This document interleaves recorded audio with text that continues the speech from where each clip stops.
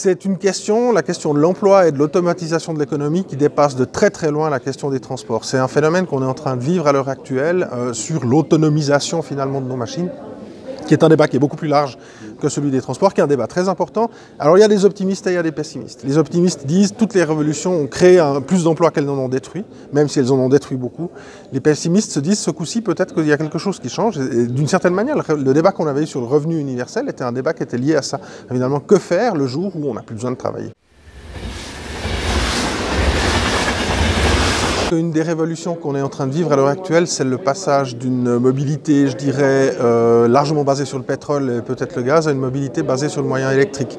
Et ça, pour les services industriels, pour les euh, distributeurs d'électricité, c'est un enjeu tout à fait fondamental parce qu'on se rend compte que euh, ça pourrait être une des parts majeures de marché que ces distributeurs d'électricité pourraient avoir d'ici 20 à 30 ans.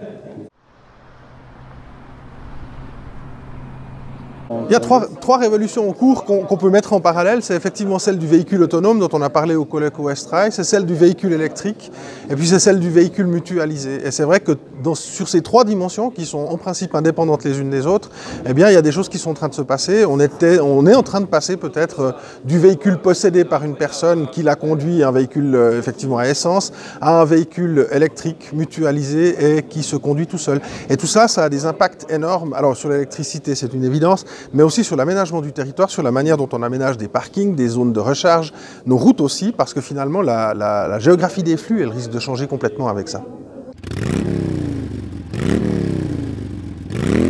Je ne pense pas que la question se pose en ces termes. Euh, je pense qu'il y a des gens qui sont très attachés à leur voiture, qui vont dans les prochaines décennies être remplacés par des gens qui arrivent, euh, qui sont des enfants, qui sont en train de naître maintenant, qui sont peut-être pas encore nés, qui eux n'auront pas cet attachement. C'est pas tellement qu'on va demander aux gens de changer leur comportement, c'est que les gens changent, entre guillemets, on change de gens qui eux auront des comportements différents. C'est ce qu'on voit dans les statistiques depuis longtemps. Deux tiers des changements, c'est des changements de génération, un tiers, c'est des changements de comportement de personnes.